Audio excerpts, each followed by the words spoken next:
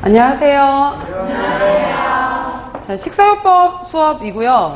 어, 어제 뭐 첫 수업 하셨으니까 아시겠지만은 2016년, 그러니까 내년 시험부터 과락이 다 바뀌었잖아요. 그래서 기존에 지금 300문제가 들어가면서 네 과목에 해당이 되는 것이 과락이었죠. 그래서 예를 들어서 영양학 같은 경우에가 60문제, 그 다음에 단체급식이 50문제, 그 다음에 식사요법이 40문제였죠. 그 다음에 식품학 및 조리원리. 다 끝나도 모르는 경우가 있어요. 그래서 여기 식품학 및 조리원리에 식품 미생물이 같이 들어가는 거예요. 여기에. 그래서 여기까지 해서 50문제 해서 200문제거든요. 여기에서 200문제고 나머지 이제 20문제짜리가 있었던 것이 다섯 과목이 있었죠. 그래서 생화학도 있었고 그 다음에 생리학도 있었고 그 다음에 영양 교육도 있었고 그 다음에 식품 위생 그 다음에 마지막 과목으로 이제 위생 법규 이렇게 있었잖아요.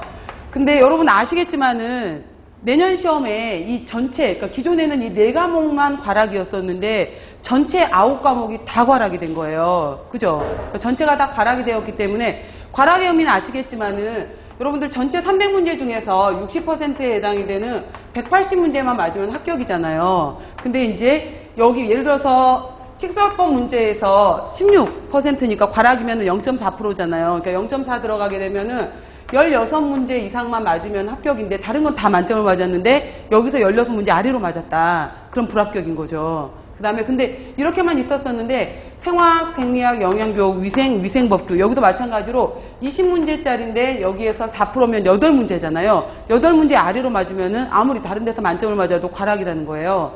근데 시험 제도가 내후년에 또 바뀌어요.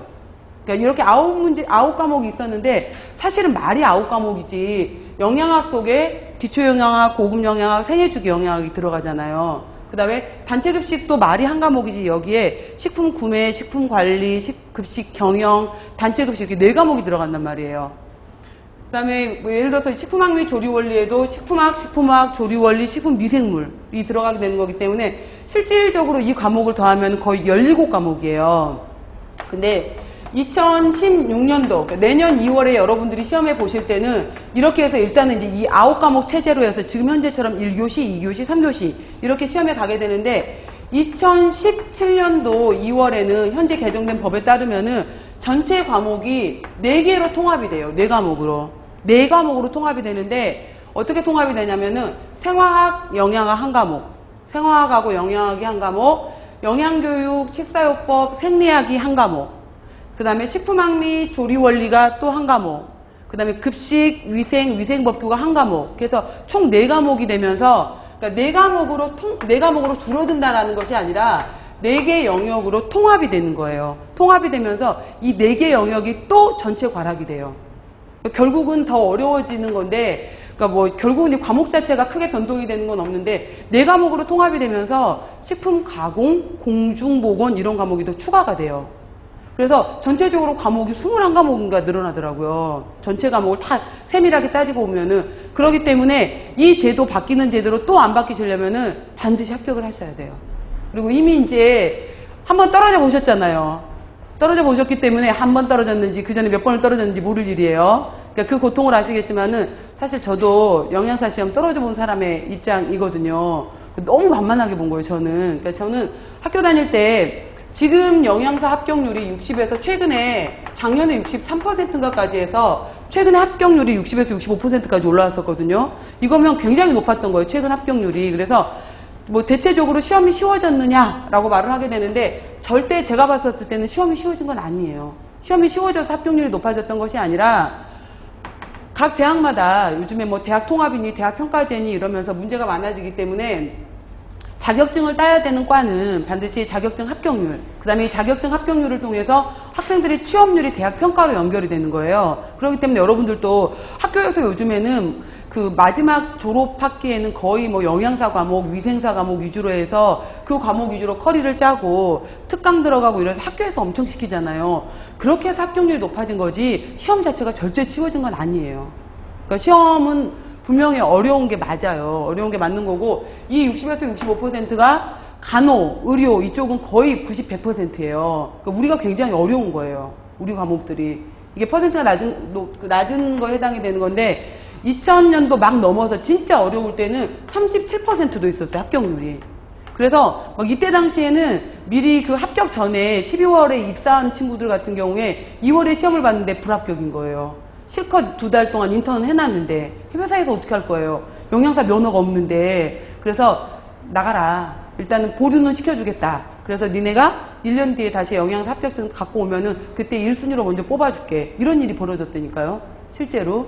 그러니까 이런 게 벌어지게 되는 건데 저도 학생들한테 항상 하는 것 중에 하나가 하는 얘기 중에 하나가 영양사 그러니까 면허증에 대해서 이걸 갖고 있- 그래도 우리가 이게 식품 영양학이라는 전공을 했기, 때문, 했기 때문에 영양사 면허를 가질 수 있단 말이에요. 제 친구는 자격증 이러면 굉장히 화내요. 얘들 깎아내린다며 우린 면허증이다, 라이센스다 막 이러면서 아무나 딸 수 없는 거다 막 이렇게 자부심을 가져라 막 충분히 강조를 하는데 영양사 같은 경우에 있으면 굉장히 유리한 게 맞더라고요. 근데 요즘은 졸업 전에 너무 많은 걸 요구하죠. 위생사도 있어야지, 영양사도 있어야지, 조리사도 있어야지. 조리사도 한식, 양식, 제과, 제빵, 중식, 일식, 여러분 보고까지 다 갖고 계시죠? 이런 식의 것을 이제 너무 많은 걸 요구했기 때문에. 근데 영양사 뽑을 때 조리사 면허 요구하는 건 맞는 것 같아요.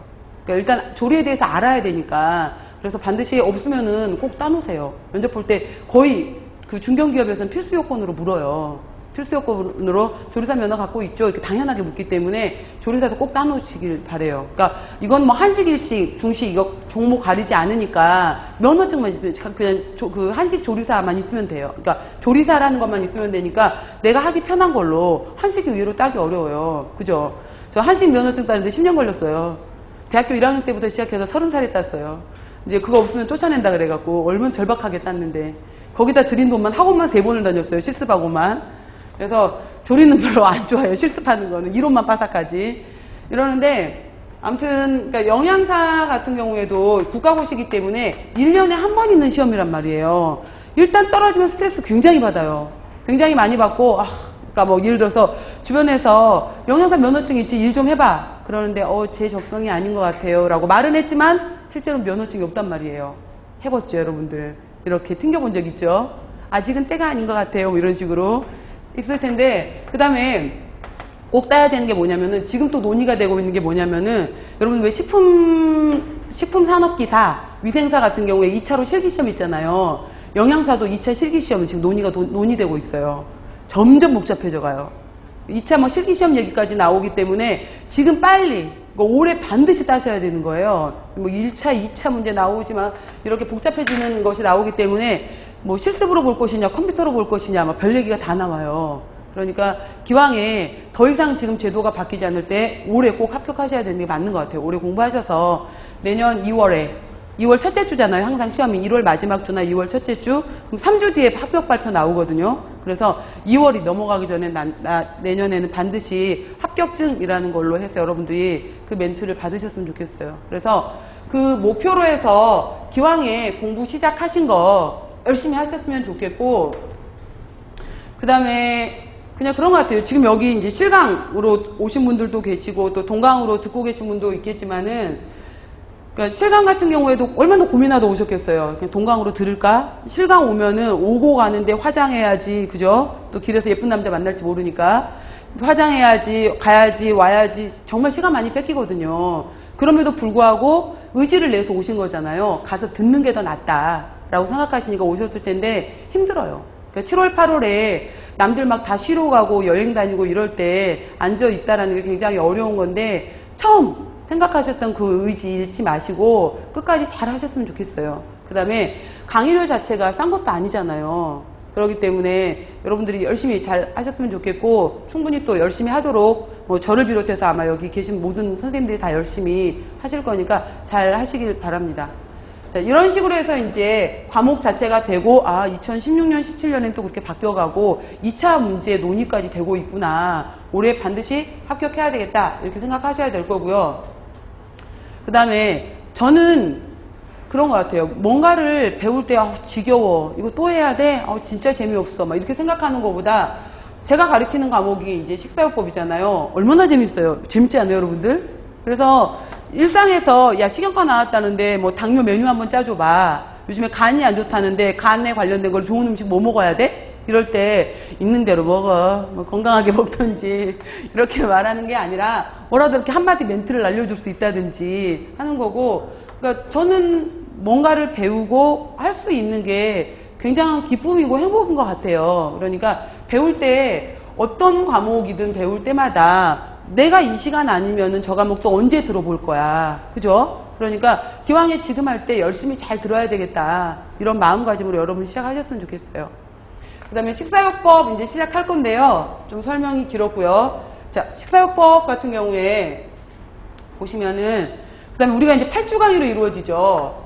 그래서 나중에 여러분들이 이제 제가 항상 강의 첫 시간에 하는 얘기인데 그 다이어트에서 나중에 다이어트 부분에서 나오게 되는데 다이어트에서 매우 중요한 것이 당연히 이제 식사를 어떻게 할래? 식이요법. 그 다음에 이제 여러 가지 요법이 있단 말이에요. 운동요법도 있고 정 안 되면은 약물요법도 있고 그것도 안 되면은 수술요법도 있고 이렇죠. 근데 수술요법 얘기는 의, 의대에서 얘기를 하는 거고 약물요법 얘기는 약대에서 얘기를 하는 거고 그렇기 때문에 우리는 식이요법하고 운동요법하고 얘기를 하게 되는 건데 결국은 이제 영양사 임무로 해서 이제 식사요법 얘기를 하게 되는 건데 운동요법과 병행해서 같이 얘기하는 것이 행동인지요법이라는 것이 있어요. 그래서 내가 원하는 몸무게까지는 내려왔으나 이걸 유지하는 게 굉장히 힘든 거잖아요. 그러니까 예를 들어서 뭐 종양이 있어, 골절이 되었어. 고치면 되고 떼내면 되는 거지만은 정말 다이어트라는 거 굉장히 어렵잖아요, 여러분들. 그걸 유지한다라는 게 행동인지요법에 들어가게 되는 건데 이 행동인지요법에서 매우 중요한 것이 이제 자기관리 능력에 들어가는 거고 그러니까 자기를 맨 처음에 관찰 나는 뭐가 문제가 있는 것일까? 자기 관찰 단계. 그렇다면은 나를 어떤 식으로 관리할 것인가? 그러니까 자기를 이제 관리하는 단계. 그 다음에 이거를 행동을 잘 했었을 때 나에게 스스로 이제 보상을 주는 것이 반드시 들어가야 돼요. 그래서 이 보상이라는 기전이 굉장히 중요한 건데 보상이라는 거죠. 그래서 여러분들도 처음 강의 시작하실 때 힘들지만은 8주간 내가 지각하지 않고 빠지지 않고 열심히 강의를 잘 들으면은 8주가 끝난 다음에 나 스스로한테 나도 상을 줘야 되겠다. 이 보상이 굉장히 중요한 거더라고요. 스스로에게. 그러니까 이제 성인이잖아요, 여러분들. 이거 잘했으니까 뭐 줄게 이게 아니라 내 스스로에게 내가 보상을 하는 거예요. 그러니까 스스로 약속을 세워 보세요. 그래서 뭐 내가 갖고 싶었던 가방을 하나 산다든지 내가 하고 싶었던 여행을 한다든지 여러 가지 내 스스로에 대한 보상도 그러니까 나한테 대한 자기 관리 능력인 것 같아요. 그렇기 때문에 이 보상이라는 거에 대해서도 한번 생각을 해보세요. 8주 강의가 끝난 다음에 열심히 들은 나한테 나는 어떻게 칭찬을 해줄 것인가. 그리고 이제 이건 학원 입장에서는 별로 안 좋은 얘기인데 8주간 강의를 듣고 난 다음에 모든 과목마다 교수님들이 이건 외우세요. 이건 중요합니다. 이건 중요합니다. 라고 하는데 8주가 다 끝난 다음에 남는 거는 책밖에 없어요. 근데 책을 넘겼는데 빨갛게 노랗게 파랗게 색칠은 되어 있는데 뭔 말인지 모르겠어. 근데 굉장히 중요하다고는 했어. 8주가 지난 다음에 머릿속에 남는 것은 공부할 양이 굉장히 많았고 참 어려웠구나. 이것만 남아요. 공부를 제대로 안 해놓으면 불안해지는 거예요. 불안해지면은 우리 학원 강의가 7, 8월 강의가 있고 그 다음에 10월, 11월 강의가 있고 12월, 1월 강의가 있거든요. 그러니까 7, 8월부터 강의를 들었다라는 것은 최소한 6개월을 미리 6개월 가까이를 미리 준비하고 들어온 거잖아요. 근데 가끔은 제가 학생들한테 안타까운 것 중에 하나가 6개월간 그 부담이 굉장히 길어지는 거예요. 미리 부담을 이제 끌어안고 오셨네, 뭐 이런 생각이 들 때가 있어요. 근데 미리 준비하는 마음을 지금 상태로 해서 오히려 편안해져야 되는데 공부를 대충 하게 되면은 8월이 지났을 때 오히려 불안해져 버려요. 어떡하지? 나 공부는 안 해놨는데 외울 건 진짜 많고 외울 게 진짜 많다라는 건 알, 알고 끝나버리는 거죠. 그렇기 때문에 그런 마음이, 그런 마음이기 때문에 또 들어와요. 여기 강의에 불안하니까. 여기 강의에 또 들어와요. 학원 입장에서야 좋아요. 좋죠. 수강생이 계속 보유가 되니까 좋은 거지만은 저는 이제 안타까운 거죠. 근데 이 시간에 여러분들이 와서 물론 뭐 제 얼굴이 보고 싶어서 이제 오는 건 아닐 테고 와서 계시는 게 중요한 게 아니라니까 왜 니네 이렇게 물어보면은 혼자서 공부할 자신이 없으니까 딴짓 할 것 같으니까 학원이라도 앉아 있으려고요 이렇게 얘기를 해요 근데 그 공부 아니에요 들어놓고 뭐가 중요한지를 들어놓고 그거를 스스로 정리하는 시간으로 가져야 되는 거지 와서 했던 얘기 또 듣고 어 나 이거 지난번에 글 써놨어 이거 체크해놨는데 이거 아는 게 중요한 게 아니라니까요 그 아무 의미 없어요 그러니까 기왕에 지금 강의 시작했었을 때 두 달에 정확하게 끝내셔야 돼요. 아셨죠? 졸지 마시고 핵심 잘 하셔서 18월이 끝난 다음에 퍼펙트하게 뭐를 외워야 되고 뭐는 이거는 그냥 주변으로 알아놔야 될 내용이고 그거를 알아야 되는 거지 또 들어오고 또 들어오고 하는 불안감을 가지는 시간이 아닌 거예요. 아셨나요? 자 이렇게 마음가짐 잘 정리하시고요. 그 다음에 어떤 과목이든지 간에 처음 시작할 때는 항상 첫 차례를 보세요. 차례.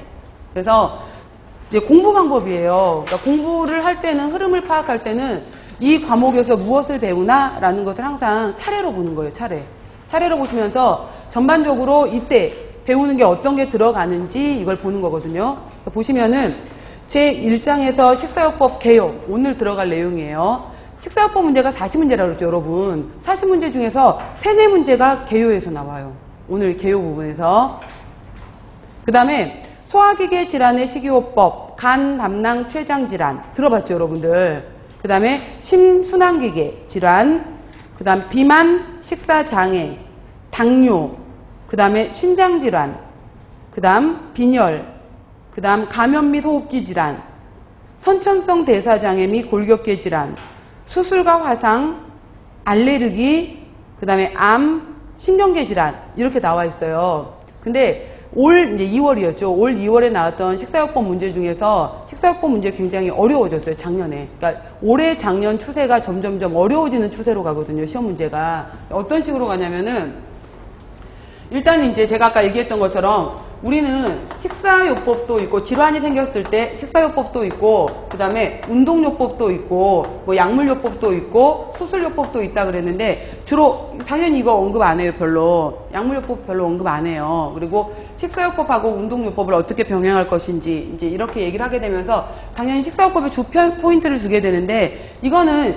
일반인을 대상으로 하는 것이 아니라 질환이 생긴 환자를 대상으로 하는 거잖아요. 환자에게. 왜 왜 이 질환이 생겼는데 라고 하려면은 이거에 대해서 생리학적 기전을 알아야 되는 거예요.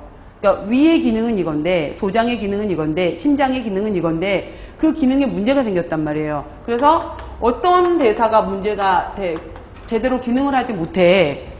그리고 나서 그럼 어떤 식의 이제 질환이 생겼어? 그래서 임상이 나오게 되는 거예요. 임상 영향이 나오게 되는 거고 그래서 그 중에서 요법을 어떻게 할 거야? 이렇게 들어가는 거예요. 그러니까 생리학, 생화학, 임상, 식사가 들어가는데 제가 통합된다 그랬잖아요. 시험 문제가. 통합되는 게 뭐냐면은 예를 들어서 빈혈이야. 빈혈의 경우에도 빈혈의 경우에도 일단은 임신부의 경우에 임신성 빈혈이 와요. 수유기에 빈혈이 와요. 그 다음에 아기가 태어났어. 이제 엄마 몸으로 갖고 왔던 철분이 다 떨어졌어요. 이유기를 제대로 못하면 이유기에 빈혈이 와요. 아동기에 빈혈이 와요. 사춘기 생리를 시작하면서 여학생들한테 또 여, 생리로 인한 사춘기성 빈혈이 와요. 그러니까 임산부 빈혈이 와요. 노인성 빈혈이 와요. 이런 식으로 해서 생애 주기하고 굉장히 밀접하게 연결이 돼요. 생애 주기와 또 이제 식사법은 굉장히 밀접하게 연결이 되는 거고 그래서 그러면은 빈혈을 판정을 어떻게 할 건데 뭐 어떤 수치가 빈혈이라고 판정할 수 있어. 헤모글로빈 수치, hematocrit 수치, MCV 수치 이게 쭉 나오면서 영양 판정하고 또 관련을 지어요. 그래서 과목이 통합된다고 했던 이유가 이런 이유예요. 결국은 이제 생애 주기에 영양 판정에 생리학에 생화학에 임상에 식사요법에 이게 같이 연결돼 버리는 거. 한 과목으로 떨어지는 게 아니라. 왜 어려운지 알겠죠. 그래서 결국은 이제 이런 식으로 쭉 기존으로 들어가는 거고요. 지금 이제 여러분들 학원 교재 받으셨으면 아시겠지만은 앞쪽에 이론이 있고 뒤쪽에 문제가 있잖아요. 그러면은 이제 특히 이제 동강생들 같은 경우에 내내 강의 안 들었다가 동강은 아마 3개월까지인가 되는 걸로 알고 있는데 이제 1주, 2주 되면 마음이 불안해져요. 작년에 해보셨군요. 웃으신 분들. 일주, 이주 되면 마음이 불안해지는데 여기 답이 없단 말이에요. 답 체크를 안 해줘. 그럼 학원에 이제 전화해갖고 답 좀 알려주세요 이러는데 답이 없거든. 없습니다 이러면은 무슨 이런 X 같은 학원이 있어. 뭐 니네가 돈 받고 그럴 수 있어. 막 이러면서 난리가 나는 거예요 이제. 그러면서 왜 답도 안 가르쳐줘? 뭐 이런 학원이 어딨어? 막 이러는데 원래 근데 이제 원래라는 것은 없지만은 답 의미가 없다니까 여러분. 매번 얘기하는 거지만은 1번에 5번, 2번에 4번이 답의 의미가 중요한 게 아니에요. 그답 뭐하러 외워. 그냥 시중에 나와 있잖아. 문은당, 교문사, 뭐 중앙문화사, 뭐 출판사별로 책들 쫙 나와 있잖아요. 그 책 2만 5천 원, 3만 원짜리 사서 답 따라 놓고 외우면 되잖아. 그거 하려고 한 게 아니라 정확하게 이론 베이스, 왜 어떻게 연결이 되었는지를 알기 위해서 학원을 오신 거잖아요. 그 학원은 답 체크하러 온 게 아니라니까. 답을 체크하는 것이 아니라 정확하게 여러분들이 이론적인 베이스를 알고서 이론에 따라서 어떤 식으로 문제가 적용이 되었는지를 알기 위해서 온 거지. 저도 쪽집게 강사 되고 싶어요. 1번의 답이 5번이었는데 그 문제가 똑같이 나왔어. 전 평생 될 수 없어요. 그 문제는. 될 수가 없는 건데 이걸 알고 싶으니까 이론의 적용으로 들어가는 거지 답 알고자 해서 오는 게 아니거든요. 그러니까 이론 시간 정확하게 아, 이, 이 문제는 이런 식으로 적용이 되는구나. 이게 맞는 문장이고 이게 틀린 문장이구나. 그걸 파악하셔야 돼요. 그리고 이제 지금 얘기해서 이제 첫 번째 지금 개론이니까 얘기를 하는 건데 맨 처음에 소화기계 질환이라고 했잖아요. 그러면은 소화기계 질환이다 라고 하면 그냥 설명 들으세요. 지금 이 시간은 소화기계 질환이라고 하게 되면은 일단은 이제 우리가 입을 통해서 구강을 통해서 음식을 섭취를 하죠. 그럼 구강을 지나서 식도를 지나서 음식물이 이제 위로 들어가게 되겠죠.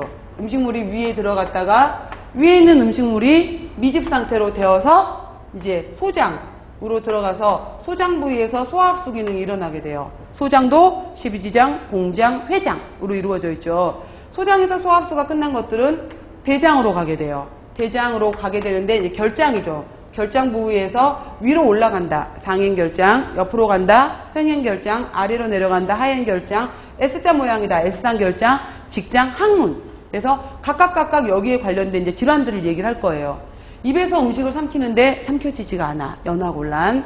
식도 자꾸 역류가 되면서 쓰려, 속 쓰려, 식도 역류, 급성위염, 만성위염, 여러 가지 소장에서 소화흡수 불량증이라든지 여러 가지 질환들, 대장으로 내려오면 변비의 개실염의 여러 가지 대장 질환들, 그 다음에 또 소화에서 매우 중요한 것이 바로 이제 간이란 말이에요. 간은 우리 몸의 공장 이렇게 얘기를 하죠. 그래서 간에서 급성간염, 만성간염, 지방간, 간경변. 그 다음에 간에서 만들어 온 담낭을, 담즙을, 간에서 만들어 놓은 담즙을 담낭에서 저장을 한단 말이에요. 담낭에 문제가 생기는 담낭염. 그 다음에 위 뒤편으로 췌장이 있어요. 그래서 담낭하고 또 췌장 관련되어 있고 그래서 담낭 각각의 췌장염 이런 식으로 해서 지금 소화와 관련된 기능 입, 식도, 위, 소장, 대장, 간, 담낭, 췌장 이거를 바로 우리가 소화기계 질환이다 이렇게 얘기를 하는 거예요. 그 다음에 이제 두 번째 챕터가 심순환기계라고 했는데 심순환기계라고 말하는 것은 제일 중요한 것이 이제 심장이란 말이에요, 심장. 그래서 심장은 혈액의 펌핑 기능을 하는 기능이잖아요, 우리 몸의 혈액을. 그래서 보통 퍼 미닛, 분당, 분당 70회 정도의 혈액을 내 뿜어내고 있단 말이에요. 지금 계속, 지금 이 순간에도 뿜어내고 있게 되는 건데, 이제 좌심실이죠, 여기가. 좌심실에서 대동맥을 향해서 혈액을 뿜어줘야 돼요. 한 번 뿜을 때마다 70ml의 혈액을 뿜어서 대략 분당 5리터에 해당이 되는 혈액을 뿜어줘야 되는 거예요. 이 심장이 제대로 기능을 못해요. 혈액이 고여있네? 이것이 바로 이제 우렬성 심부전이라고 얘기를 하게 되는 거고, 심장에 있는 중요한 동맥이 있는데, 바로 이제 관상동맥이에요. 심장에 있는 매우 중요한 동맥인데, 이 관상동맥에 문제가 와버렸어요. 협심증, 심근경맥, 부정맥, 심장마비가 발생을 할 수가 있어요. 그 다음, 심장에서 뿜어낸 혈액은 반드시 혈관을 지나가는 거죠. 혈관은 동맥, 모세혈관, 정맥이 있게 되는데 이 혈관의 압력이 너무 세요. 고혈압. 혈관의 압력이 너무 낮아요. 저혈압. 그 다음에 이 혈관을 지나가는 혈액은 깨끗하고 일정 수치를 유지해야 되는데 이 혈액 성분에 문제가 왔네. 바로 이제 특히 그 중에서도 중성지방이 많아졌다든지 콜레스테롤이 많아졌다든지 여러 가지 지방 성분이 많아지면서 문제가 된 것을 고지혈증이라고 하는 거예요. 그래서 제1형, 제2A, 2AP, 3형, 4형, 5형 각각의 이제 고지혈증 얘기를 해서 심장과 혈관과 혈압과 혈액에 대해서 얘기하는 것을 심순환기계 질환이라고 하는 거예요. 그 다음 우리 몸은 배꼽 주변에 두 개의 키드니가 이제 신장이 있게 되는 거고 신장에서 나온 소변을 수뇨관에서 받아서 하나의 방광에 모아놨다가 일정량이 차게 되면 요도를 통해서 빠져나와요. 이거를 비뇨기계라고 하는 거예요. 그 중에서 바로 이제 신장에 대해서 얘기를 하게 되는 건데 이 신장의 구조는 네프론으로 이루어져 있죠. 많이 들어봤죠, 여러분. 그래서 말폐기 소체, 근위세뇨관, 헬리고리, 원위세뇨관 이게 쭉 가게 되는 건데 여기에 있어서 이제 제 기능을 하지 못하면서 문제가 오게 돼요. 급성사구체 신염, 신중후군, 신부전. 이게 안 됐을 때 혈액투석, 복막투석. 이것도 안 되면 신장 이식. 그 다음에 신장 자체에 돌이 생기네. 신장 결석. 이라는 걸로 해서 신장 자체의 질환들 이 오게 되는 거예요. 그래서 큰 카테고리는 소화기계 질환, 심순환기계 질환, 신장 질환 있고요. 그 밖에 이제 또 중요하게 나오는 것이 바로 혈액에서 또 혈당이 너무 높아져서 이용이 되지 않는 당뇨에 대한 기전을 얘기를 할 거예요. 당뇨. 그 다음에 우리 몸에 이제 에너지 비율이 인풋 아웃풋에서 인풋이 너무 높아지면서 문제가 되는 바로 이제 비만. 비만은 특히 나중에 다시 나오지만은 비만과 관련된 합병증 문제로 물어요. 그러니까 비만이 되면 문제가 되는 것이 당뇨의 합병증, 비만이 되면 문제가 되는 것이 바로 이제 심순환기계 합병증 이런 합병증하고 연결시켜서 물어요. 비만 문제는. 그다음에 당뇨 문제 같은 경우에는 제가 아까 생화학도 굉장히 중요하다라고 했잖아요. 근데 여러분들 사실 어려워요. 그러니까 식용과 과목이 절대 쉬운 과목이 아니에요. 그러니까 식용과 그러면은 특히 대학교 1학년 같은 과목에 1학년에서 이제 올 때 여러분들도 고등학교 때 문이과 있었을 때 저는 이과에서 왔기 때문에 사실 크게 공부하는데 문제가 없었거든요. 화학이든 생물이든 공부를 했기 때문에. 근데 그렇지 않은 친구들 같은 경우에는 생리학도 굉장히 어려운 단어고 그다음에 생화학 같은 경우에는 뭐 거의 이제 멘붕이죠. 굉장히 어렵잖아요. 그러니까 여기서 이제 이미 무너져 버리는 거예요. 근데 생화학을 잘 이해를 하시면 여러분들 영양학 공부가 굉장히 쉬워요. 그다음에 생리학을 잘 이해를 하시면은 식사법 공부가 굉장히 쉬워요. 근데 생리학 생화학 김지훈 쌤이 가르치시는데 굉장히 잘 가르치세요. 그래서 정말로 뭐 전, 전에는 뭐 다섯 개, 여섯 개 맞았는데 여기 학원 다니고 나서 스무 개 다 맞았어요. 이런 학생들 굉장히 많아요. 그러니까 너무 잘 가르쳐 주시니까 여러분들도 흥미를 느끼시면서 생리학 생화학이 기초학문이거든요, 정말. 그러니까 이거 잘 들어놓으세요. 재밌게 잘 들어놓으시면은 이거를 통해서 영양학도 진짜 쉬워져요. 영양학도 쉬워지고 식사요법도 쉬워지고 다 과목 전체가 쉬워지거든요. 그래서 잘 들어놓으셔야 되는데 바로 당뇨 같은 경우에는 특히 대사 문제로 해서 생화학 문제로 해서 막 네다섯 문제씩 나와버려요, 한꺼번에. 그러니까 그만큼 비중이 크게 나오는 거거든요. 그래서 지금 말한 개요 파트가 아까 제가 세네 문제 이랬죠. 개요 파트에서 세네 문제, 이 소화기계 파트에서 세네 네 문제, 이 심순환기계에서 뭐 네다섯 문제, 그 다음에 여기 비뇨기계에서 뭐 세 문제 정도, 그 다음에 당뇨에서 한 네 문제 정도, 비만에서 두세 문제 정도, 빈혈에서 두 문제 정도 이런 식으로 해서 문제 파트 이렇게 쭉 이렇게 큰 비중이 이제 지금 여기 비만, 빈혈까지 해서 여기가 이제 큰 파트예요. 그래서 거의 35문제 가까이가 이 빈혈까지 해서 나오는 큰 파트예요. 여기 치- 제가 지금 설명했던 거 다시 한번 봐보세요, 여러분들. 제가 지금 다시 이론으로 보시면은 제가 2장에서 소화기계 질환 설명했죠. 소화기계 질환, 간담낭, 췌장, 내장 얘기했잖아요. 그 다음에 4장에서 심순환 기계 지금 설명했죠. 그 다음 비만 얘기했죠. 그 다음에 당뇨 얘기했죠. 그 다음에 신장 질환 얘기했죠. 그 다음에 8장 빈혈 얘기했잖아요. 여기까지가 35문제예요. 그 다음에 나머지 부분에 해당이 되는 9장부터는 이것들 다 합쳐서 이제 네다섯 문제인 거예요. 그러니까 여기서부터는 아 여기서 핵심은 이겁니다 라고 얘기하면서 제가 그냥 넘어가는 거예요. 여기서부터는. 그래서 감염 및 호흡기 질환 요즘에 이제 메르스 때문에 문제가 됐잖아요. 그래서 지금 계속해서 문제가 되고 있는데 그러니까 뭐 메르스 같은 경우에도 이 문, 이제, 이거 뭐 영어로 지금 메르스라고 했는데, 이게 중앙아시아잖아요. 중동. 그러니까 중앙아시아. 그래서 Middle East예요. 중앙아시아. Middle East 호흡기. Respiratory 호흡기. Respiratory 증후군. Syndrome 이렇거든요. 그래서 중동 지역의 호흡기 증후군이다. 라고 해서 메르스인 거예요. 그리고 이것이 이제 바이러스 이름에 해당이 되는 것이 코로나 바이러스거든요. 코로나 바이러스. 그래서 가끔 시험 문제로 그 해 이슈가 되는 것들을 묻기도 해요.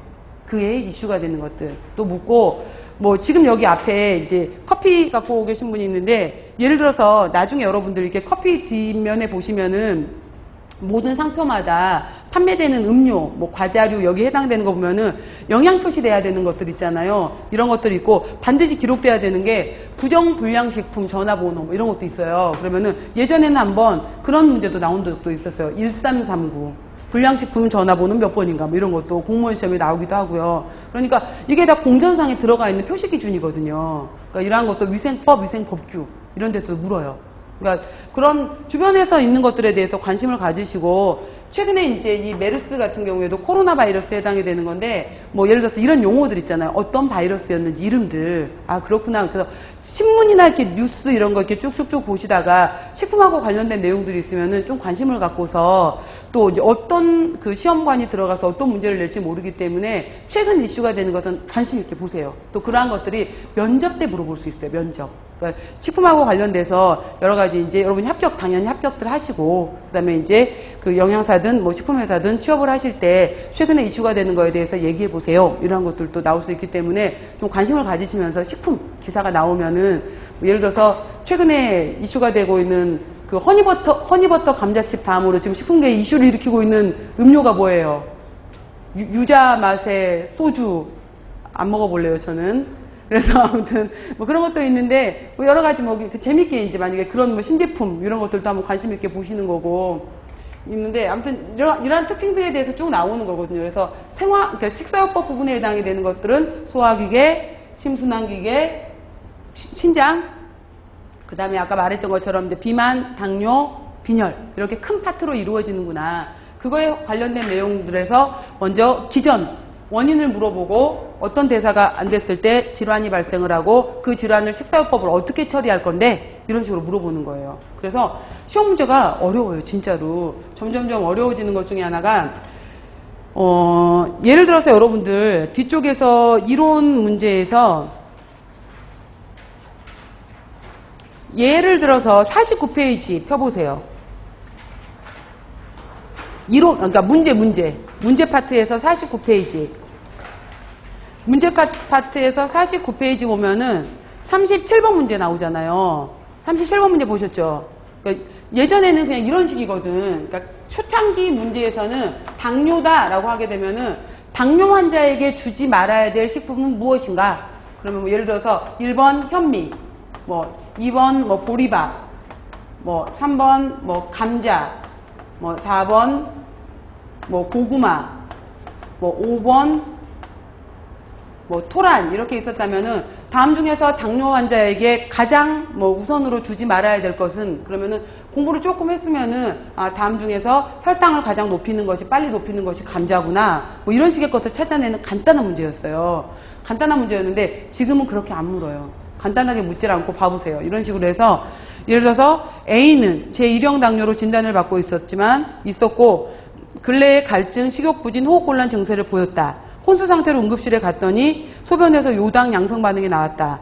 이 사람은 뭐 어떤 식으로 어떤 기억 니은 디귿 리을 미음 해당이 되는 대사 기전을 갖겠는가 이런 식으로 시험 문제를 묻는 거예요. 그러니까 이런 식의 걸 묻는다든지 그 다음에 보시면은 또 40페이지 이론 40페이지 가보세요. 지금 미리 제가 여러분들 그 위협을 하는 거 위협. 이- 문제 아 이론이 된다. 문제 40페이지. 문제 40 보시면은 뭐이 비만 문제인데 이거는 영양 교사와 뭐 학생의 상담 내용이다. 키 몸무게 제시해 주고요. 그다음에 뭐 식사 얘기해 주고 자 이러한 경우에 어떤 식의 거를 상담할 수 있겠는가 뭐 이런 내용들 있잖아요. 이런 식으로 바로 이제 실제로 적용할 수 있는 문제들을 묻는 거예요. 그렇기 때문에 그냥 뭐 이거는 이거 간단하게 외워서는 풀 수가 없어요. 그리고 실제로 이번 올해 나왔던 문제들도 이런 케, 일종의 이제 이런 문제들을 지금 제가 보여드린 문제들을 case study라고 할 수가 있거든요. 어떤 케이스를 던져주고 나서 아, 이 사람 지금 증상을 보니까 고혈압이네. 이 사람 증상을 보니까 당뇨네. 이 사람 증상을 보니까 심혈관계 질환이네. 그러니까 다음 중에서 식단을 뭐를 찾아야 돼? 이걸 유추를 하는 문제들이에요. 유추 문제가 10문제 가까이 나왔었어요. 그러니까 단순하게 외우시면은 절대 공부를 할 수가 없어요. 그래서 그 다음에 물론 이제 저도 여러분들한테 쉽게 전달을 해드려야 되겠지만은 너무 쉽게 하려고 오신 건 아니잖아요. 그러니까 이제 기본적으로 이론 배우시고 적용하는 문제 배우시고 이러려고 오신 거잖아요. 그러니까 마음가짐 잘 하시고요. 자 이제 오늘 식사요법 개요 부분 볼게요. 대략 지금 제가 한 30분 정도 말씀드렸는데 식사요법이라는 게 어떤 거고 우리가 어떤 걸 배우는구나 라는 감은 오세요?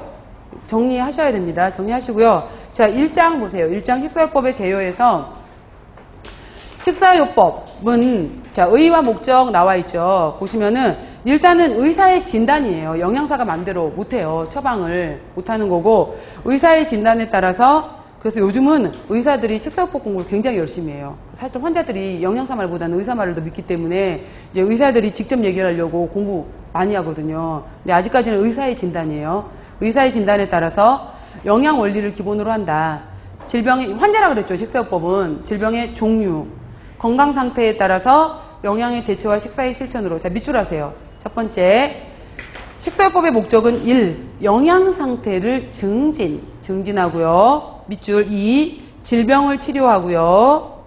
3번 합병증을 예방하고요. 4. 질병 재발을 방지하고자 하는 것이 목적이에요. 그러니까 끊으세요. 일단 끊어서 아 영양 상태 증진과 질병 치료와 합병증 예방과 질병 재발 방지구나 이렇게 간단하게 그 다음 아까 제가 환자는 들어왔었을 때 지금 이 환자가 어느 정도 상태인지 판정을 해야 될 거 아니에요. 그래서 보통 이거를 모니터링이라고 얘기를 해요. 실제 병원에서는 모니터링이라고 하게 되는데 요즘에 굉장히 어려워졌잖아요. 식용과를 졸업을 해도 아, 진짜 갈 수 있는 그 분야가 너무 좁아져 버린 게 예를 들어서 병원에 가고 싶어도 이제 요즘에는 임상영양사 자격증을 또 따야 되죠. 그 다음에 학교급식으로 가고 싶어도 또 영양교사 과정을 또 거쳐야 되잖아요. 그래서 영양교사는 이제 교육부 인증을 받은 뭐 4년제 대학에서 야간도 안 돼요. 주간에서만. 그 다음에 정원의 인원에 있어서 뭐 20%만 이런 식으로 정해져 있는 거예요. 그래서 1학년 때 성적으로 이제 상위권 아이들한테 먼저 우선순위를 줘요, 배정을. 줘서 2, 3, 4학년 과정 동안 교육학 과정을 또 이수를 하게끔 해서 되는데 이게 안 됐을 때는 이제 영양교육대학원을 따로 들어가야 되잖아요. 따로 들어가서 또 5학기 과정을 거쳐야 되는 거고. 임상영양사 마찬가지로 이거는 이제 또 학, 학사학위를 가진 다음에 임상영양대학원을 들어가서 또 마찬가지로 4학기 과정을 거쳐서 3학기는 이론 수업을 듣고 4학기째는 병원에 가서 현장 실습을 해야 돼요. 그리고 나서 초창기에는 3년간 영양사 경력이 있어야 됐어요. 그게 말이 돼? 인턴도 1년인데? 그래갖고 올해부터 바뀌었어요. 1년으로. 그래서 이제 영양사 경력 1년만 있으면은 1년에 이제 2년 그 학교 학위 과정을 거치게 되면은 임상 영양사를 바로 시켜주는 것이 아니라 임상 영양사를 할 수 있는 자격 요건을 주는 거예요. 시험 볼 수 있는 자격. 시험을 또 봐야 돼요. 그래서 임- 여러분 우리 나중에 10월 달쯤에 이제 시험 등록할 거잖아요. 그때 작년 기준으로 해서 위생사도 그렇고 영양사도 그렇고 9만 3천 원인가 9만 5천 원인가 그랬을 거예요. 임상영양사는 30만 원인가 그래요. 시험 보는 게 아, 저는 있어요, 여러분. 미리 빨리 따놨어요. 초창기에 그 빨리 일기 때 빨리 그때 그 딸 수 있었을 때 해놨었는데 지금은 이제 또 이렇게 복잡해져서 이제 3년에서 지금은 올해부터 1년으로 줄었거든요. 근데 이렇게 해서 시험 볼 자격 요건을 주는 거예요. 근데 그러면 자리가 많아야 될 거 아니야. 근데 지금 또 의료수가 이번에 또 문제가 뭐 조정이 되면서 현재 병원에 있는 임상영양사들도 반으로 줄일 거래요. 그러니 또 막상 제도는 만들어 놓고 나서 어디로 가라고. 그죠? 제도는 만들어 놓고 갈 데가 없게끔 만들어 놓은 거예요. 영양 교사도 또 엄청 심란하죠. 뭐 기간제 교사부터 시작해서 뭐 또 그냥 들어가 있는 뭐 그 무슨 무슨 교사라 그러죠? 그 그냥 그 계약직식으로 해서 계속해서 무기계약식으로 갈 수 있는 또 그런 영양사 제도가 있어요. 이 사람들도 2년이 넘었으니 우리를 영양교사로 채용해 달라. 근데 영양교사 제도가 또 뻔히 있는데 그걸 또 그렇게 할 수도 없는 거죠. 뭐 이런 거여서 제도가 굉장히 복잡해요. 그래서 이게 지금 이제 과도기인 것 같은데 아무튼 우리 또 영양사들 같은 경우에도 전체 과락으로 가버리고 또 뭐 네 과목 통합으로 가고 이러니까 이게 문이 점점점 넓어지는 게 아니라 한편으로 보면은 점점점 좁아지는 것 같기도 하고 굉장히 어려운 시기죠. 근데 일단은 가진 다음에 얘기를 해야 돼요. 일단은 갖고 난 다음에 쥐고 난 다음에 있다 없다는 나중에 얘기하는 거지 없는 상태에서 백날 얘기해봐야 없는 자의 하소연밖에 안 돼요. 그러니까 일단 가져놓고 영양사 일을 할 건지 말 건지는 가진 다음에 얘기하세요. 아셨죠? 조리사 면허도 꼭 있어야 돼요. 위생사도 꼭 다 부담만 잔뜩 드려요.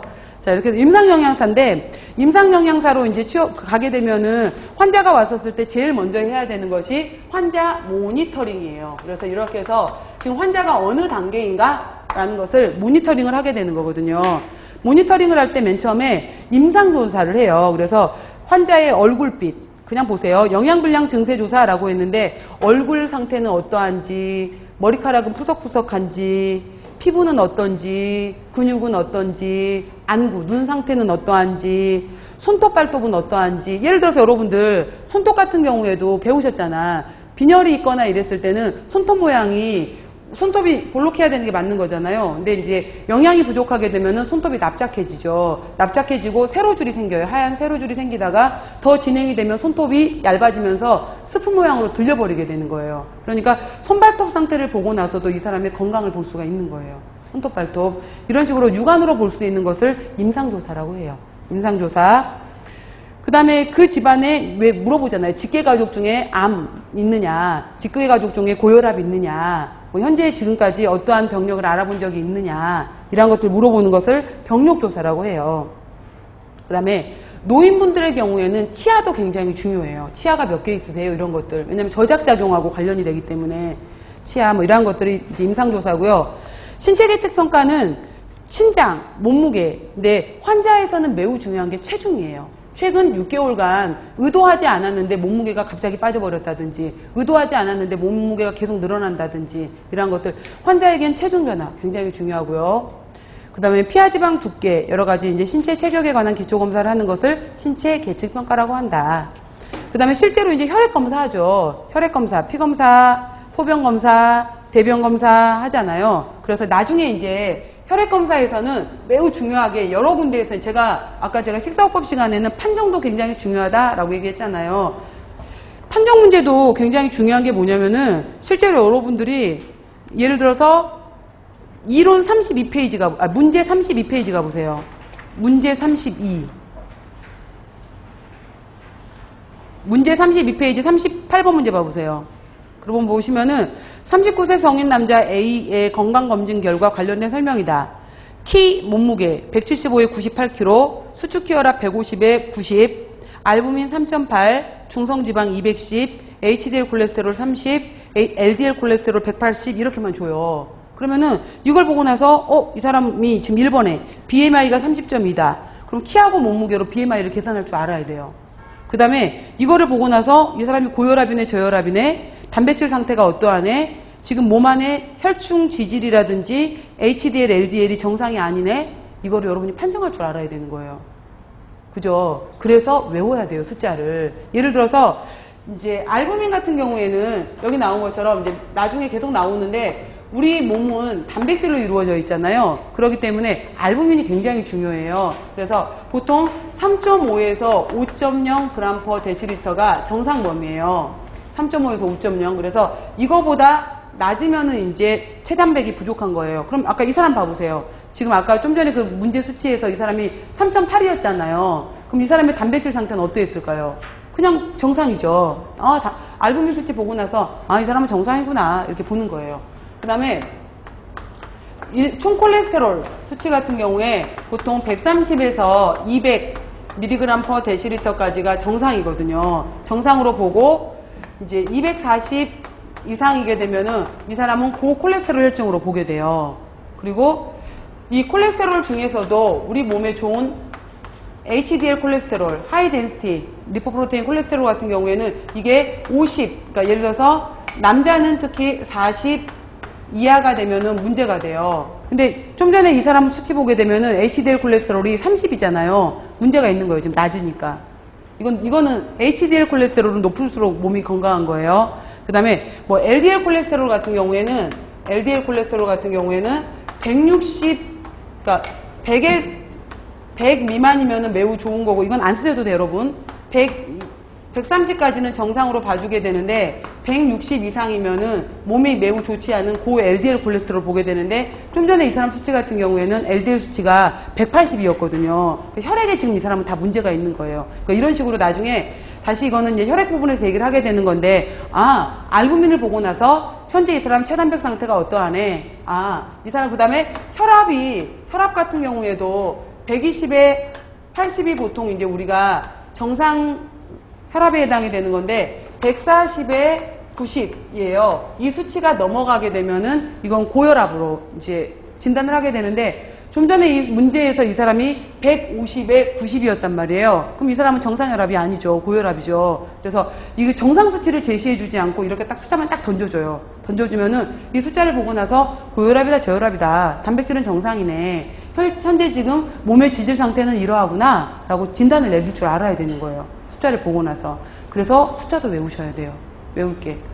자, 이런 식의 문제들이 나오게 되기 때문에 바로 이제 이거는 지금 제가 말한 건 지금 현재는 다 안 외우셔도 돼요. 안 외워도 되고 혈액 검사라는 것은 이런 식으로 이제 혈액 검사를 통해서 알부민 수치가 콜레스테롤 수치가 HDL 수치가 뭐 LDL 수치가 헤모글로빈 수치가 뭐 이런 것들이 쭉 나오게 돼요. 나중에 다시 얘기할 거고요. 그 다음 엑스레이도 잘 찍어보고 내시경도 검사한다라고 했고요. 그 다음에 영양 섭취량 검사, 식사조사라고 했죠. 옆에다 써볼게요. 간단하게. 자, 식사조사의 가장 대표적인 것은 24시간 회상법. 이건 영양 교육 시간에 또 나올 거예요. 24시간 회상법. 전날 거죠. 그 다음에 식사 기록법. 식사 기록. 해보세요. 기록. 보통 3에서 7일 정도 기록을 해요. 3에서 7일. 주말 끼고 나서. 3에서 7일. 그 다음에 세 번째가 섭취 영양소 분석법. 섭취 영양소 분석법. 그 다음에 주로 어떤 식품을 먹는지 식품 섭취 빈도조사법. 식품 섭취 빈도조사법. 이러한 것들이에요. 대부- 대부분. 자, 여러분 보세요. 환자 영양 상태를 판정하는 방법은 크게 네 가지가 있다. 자, 뭐뭐뭐가 있어요. 첫 번째, 환자의 임상조사. 두 번째, 신체 계측. 세 번째, 생화학 검사. 네 번째, 영양 섭취량 검사. 그 다음에 있잖아요, 여러분들. 공부 잘하는 방법이 뭐냐면요. 사실 저도 학부 때는 공부 별로 열심히 안 했던 것 같아요. 근데 이제 진짜 공부 열심히 한 거는 가르치려고 할 때.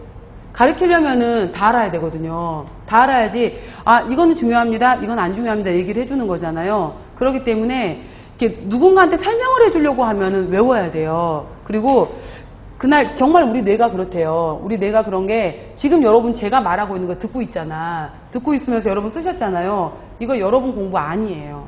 공부하고 있는 거 아니에요. 지금 현재 여러분이 제가 말했던 것을 듣고 있었던 것은 근데 나, 나중에 생리학에서 배우시겠지만 우리 뇌가 대뇌가 있고 대뇌, 간뇌, 중뇌, 소뇌, 연수 이렇게 쭉 있잖아요. 그래서 뭐또 대뇌 부위 중에서도 전두엽도 있고 축두엽도 있고 후두엽도 있고 이렇죠. 그래서 지금 제가 지금 여러분들한테 전달하고 있는 이러한 손으로 쓰고 이런 것들은 후두엽으로만 들어가는 거예요. 근데 이게 여러, 여러 기간 동안에 나중에 공부할 때까지 머릿속에 기억으로 남으려면은 이게 전두엽으로 넘어와야 돼요. 전두엽으로 넘어와서 아 이건 중요한 말인 것 같아. 이건 중요하지 않는 말인 것 같아. 이건 쓸까 말까? 이건 외워놔야 되겠다. 라고 하면서 머릿속에 정리하는 것은 바로 전두엽이에요. 그러니까 핸드폰 얘기를 계속해서 하는 핸드폰이 절대 두뇌 발달에 좋지 않다라고 얘기하는 게 뭐냐면은 게임은 즉각적인 반응이거든요. 생각할 틈이 없어요. 그 모양 나오는 대로 즉시즉시 움직이는 거기 때문에 그 핸드폰 게임을 하거나 컴퓨터 게임을 할 때는 전두엽 전혀 사용하지 않아요. 후두엽이에요. 순간작용이에요, 순간. 머리를 쓰는 게 아니란 말이에요, 그거는. 전두엽을 써야 돼요. 근데 생각해봐요, 여러분. 책을 읽을 때는 아름다운 호수가 있었고, 옆에 뭐 푸른 나무, 자작나무 숲이 있었고, 그 길로 뚫려 있는 오솔길이 있었는데, 빨간색, 파란색 꽃들이 피어 있었고, 작은 연못이 있었고, 뭐 이렇게 나오면은 머릿속에 상상을 해야 될 거 아니에요. 이때 움직이는 게 전두엽인 거예요. 그러니까 그날 가셔서 꼭 공부를 하셔야 돼요. 그날. 그날 가셔서 공부를 하시면은 당일 공부를 했었을 때는 이게 50% 이상 남아요. 다음날 가면은 뭐왜 이거 내 왜 체크해놨지? 이거 뭐라 그랬던 거지? 주말로 넘어가 버리 며칠이 지나 버리잖아요. 10%도 안 남아요. 내글쓴 거는 같아. 그죠? 내가 쓴 것 같긴 한데 뭔 소리야? 막 이렇게 되는 거예요. 당일 공부하셔야 돼요. 그 다음에 혼자 공부를 할 때도 소리 내서 하세요. 그러면은 다시 한번 뱉어내잖아요. 소리를. 뱉어내면은 내가 뱉어낸 내 목소리를 내 뇌가 다시 듣는 거예요. 그럼 또 한 번 자극이 돼요. 그러니까 제가 수업 시간에 계속 여러분한테 질문을 하잖아요. 여러분 이건 뭐예요? 라고 질문을 하면은 같이 질문을 하세요. 같이 대답을 하세요. 내 목소리로. 그렇게 되면은 이게 계속 나한테 다시 한번 각인이 되는 거예요. 그리고 설- 공부가 잘 안 될 때 있잖아. 공부가 잘 안 될 때는 앉아봐. 내가 설명해 줄게. 오늘 배운 거. 이러면서 이거를 누군가한테 요점 정리를 해준다. 그래서 스터디 굉장히 좋은 방법이에요. 예를 들어서 뭐, 한, 여러분들끼리도 이렇게 오셔갖고, 스터디 같은 경우에도 나 여기까지 공부했는데 우리 서로 모르는 거 물어보자. 나 이거 좀 설명해 줄래? 이런 식으로 하는 거 진짜 좋은 방법이에요. 그래서 같이 그냥 밥 먹고 이런 것도 굉장히 이제 스트레스 해소에 무지하게 좋은 거지만은 그러니까 이게 있는 거기 때문에 설명도 해주고 혼자 얘기도 그러니까 하면서 내 귀에 내가 들어오게끔 다시 공부를 하세요. 그 다음에 반드시 당일 한번 읽으세요. 당일 읽어놓은 거하고 다음날 주말에 몰아서 빈날 한, 한꺼번에 공부해야지 그럼 이미 늦어요. 이미 생각이 잘 안 나. 그러니까 왜 이게 중요하다 그랬지? 이랬단 말이에요. 아셨죠? 그러니까 소리 내서 계속해서 읽으세요. 자, 첫 번째 환자 상태를 조사, 판정하는 방법으로 크게 네 가지가 있다. 첫 번째 뭐다? 환자 임상조사. 두 번째 신체 계측 평가. 세 번째 생화학 검사. 네 번째 영양 섭취량의 검사. 이렇게 있어요. 아셨죠? 자, 그 다음 이제 설명할 게 오늘 이번 시간에 제일 중요한 단어가 병인식이에요. 병인식. 그러니까 오늘 1챕터에서 가장 중요하게 이제 1장에서 제가 아까 세 문제, 네 문제가 나온다라고 했잖아요. 그때 제일 중요한 핵심 단어가 병인식 구분하는 거. 병인식 구분하기. 두 번째가 영양 투여 방법 구분하기. 영양 투여 방법 구분하기. 그 다음에 세 번째가 식품 교환군표 이해하기. 이게, 이게 이제, 이게 적용하기. 이게 키워드예요. 이게 여기서 시험 문제예요, 이게. 그러니까 제가 그 시간마다 가장 중요한 키워드를 얘기를 해드릴 거예요. 그래서 첫 번째, 오늘 주제의 가장 중요한 것은 병인식, 그 다음에 영양투여, 그 다음에 식품교환군. 이게 오늘 시간에 제일 중요한 내용이에요.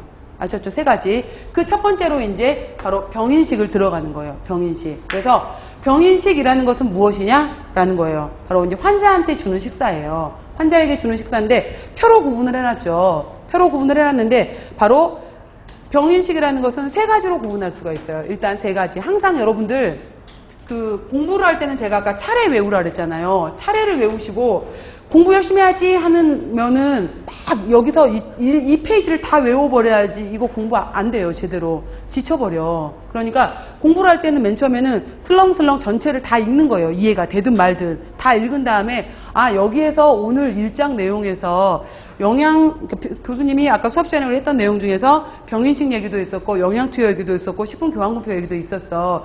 그 중에서 병인식을 세 가지로 구분한다 그랬는데 그럼 세 가지로 구분하는 가지 기준에서 세 가지 구분 기준에서 바로 이제 일반 병인식도 있었고 환자들한테 주는 특별 병인식도 있었고 그 다음에 임상 검사를 검사, 검사를 좀 더 자세히 알아보기 위해서 사용하는 말 그대로 검사식이라는 것도 있어서 일반 병인식, 특별 병인식, 검사식으로 구분을 했어. 이해를 하는 거, 이해를. 이렇게 이해를 하시는 거고요. 그 다음에 바로 특별 병인식이 소위 말해서 이제 질환에 따라서 이것을 주는 거예요. 질환에 따라서 당뇨 환자에게 줘야지, 고혈압 환자한테 줘야지, 그럼 당뇨 환자 식단 다르고 고혈압 환자 식단 다르고 신장질환 식단 다르고 암 환자 식단 다를 거 아니에요. 바로 질병 자체에 따라서 달라지는 것을 우리가 특별병인식이라고 얘기하는 거예요.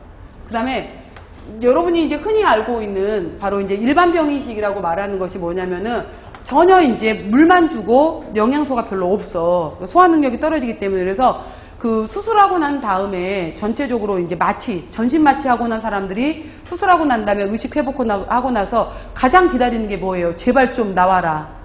가스 기다리잖아요. 가스 좀 나와라. 방귀가 그렇게 반가울 때가 없잖아요. 방귀 좀 나와라. 기다리고 있는 건데 바로 이제 가스가스라고 말하는 방귀가 바로 이제 마취가 되어 있던 것이 풀리면서 소장 대장이 움직이면서 음식을 받아들일 준비가 되었다 이 뜻이에요. 그러니까 이제 그때부터 음식을 줄 수가 있는 거예요. 그걸 기다려서 그 전까지는 물도 그러니까 환자들한테 물어보면은 제일 답답한 게 물 좀 제발 그냥 벌컥벌컥 마시게 해주세요. 물도 못 마시게 하니까 물도 그냥 가재 수건에 축여서 입에 물고 있거나 그것도 아니면 한 숟갈로 조금씩만 입에 넣어서 있거나 정 못 참으면 얼음 한 조각 입에 물고 있거나 이렇게 해주거든요.